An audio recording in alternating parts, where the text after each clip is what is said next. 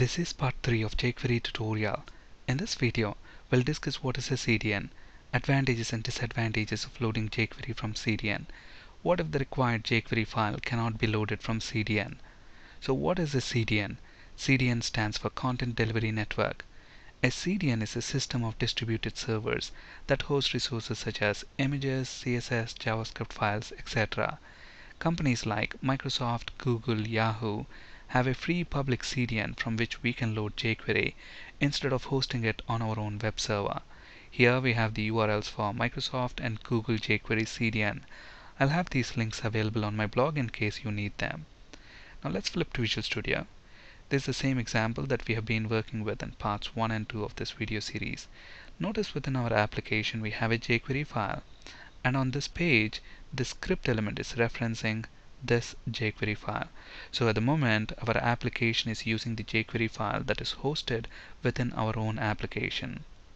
Now we can also load the jQuery file from a CDN server.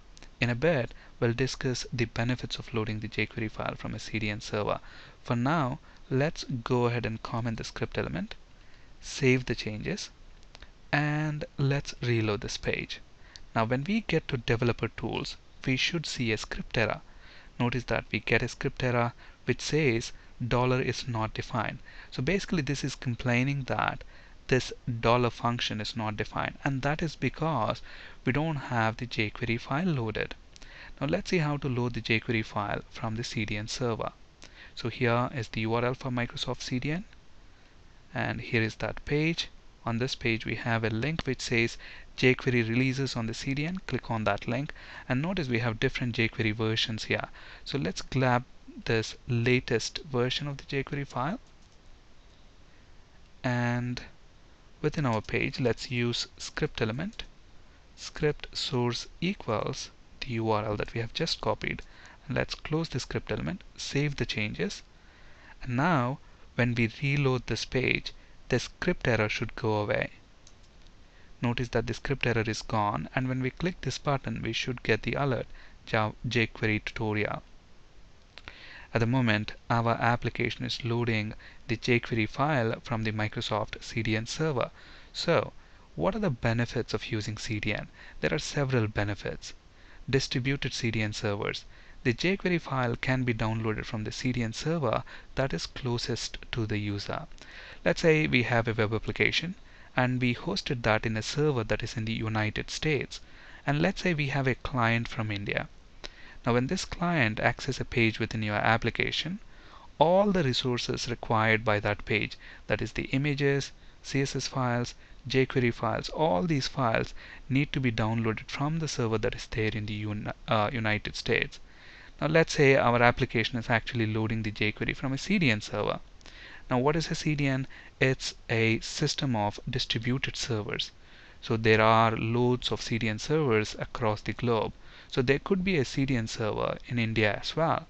So when the same user requests the page from your application, since there is a CDN server in the in India, you know the jQuery file can be downloaded from the CDN server that is in India, which is closest to your client and that means you know your page load times can be improved because you know it's being downloaded from a server that is closest to the user so that's going to improve the download time which in turn improves your page load time.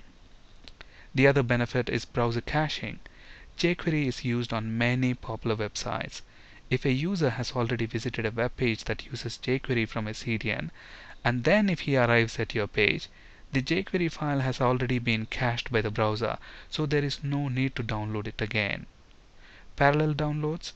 There is a browser limit on how many files can be downloaded from a given domain. This number varies from browser to browser.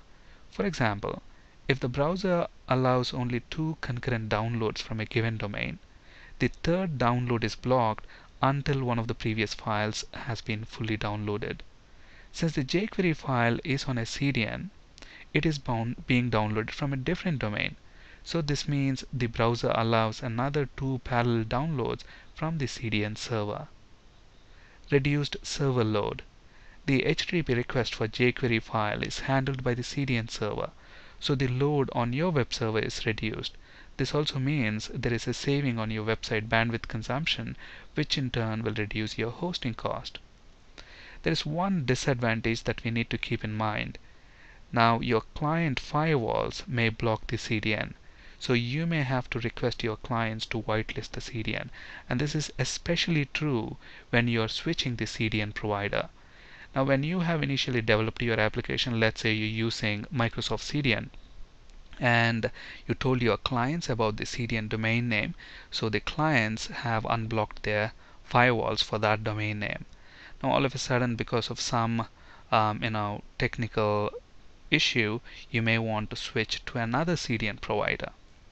Now, when you do that, you will have to tell your clients about that new CDN provider because if it is not whitelisted, the firewalls may block that CDN provider. As a result, the jQuery file will not be loaded and your application may not work. Now, what if the required jQuery file cannot be downloaded from CDN? Let's assume that either the CDN is down or because of some network issue, we are not able to download jQuery from CDN.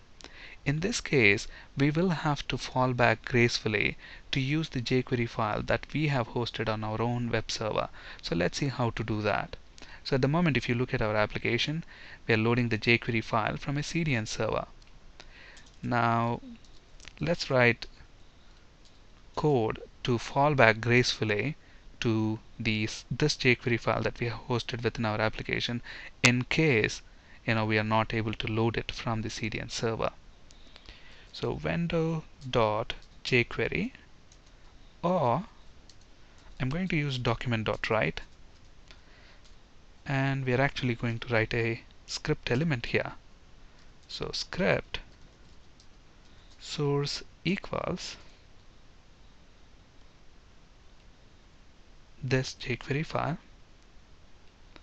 So I have that within the single quotes here and then we need to close the angular bracket and we need to close the script element itself.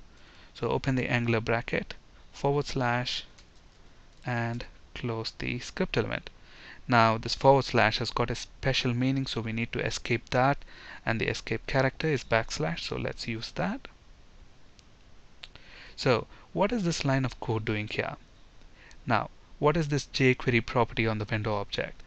If jQuery file is successfully loaded okay now it's going to add this jQuery property to the window object okay? So window.jQuery if jQuery property is present on the window object that means the jQuery file is successfully uh, loaded okay? And look at this this is an OR condition. If this condition is true then it's not going to execute this piece of code okay? So if the jQuery file is downloaded you know it's not going to execute this if jQuery file is not downloaded, then this property is not going to be there. So it's going to execute this one. And look at what it's doing. It's actually referring to the script file that is present within our application. Okay, at the moment my internet is working, so that means this script file can be loaded from the CDN server. Let me go ahead and turn off my internet. Okay, so the internet is turned off now. Let's actually try to navigate to google.com look at that uh, unable to connect to the internet. Now when I load this page we shouldn't get any error. And when I click this we should get the alert. Now since I am not able to connect to the internet it's actually not able to load this jQuery file from the CDN server. So it's falling back to this jQuery file that is present within our application Thank you for listening and have a great day.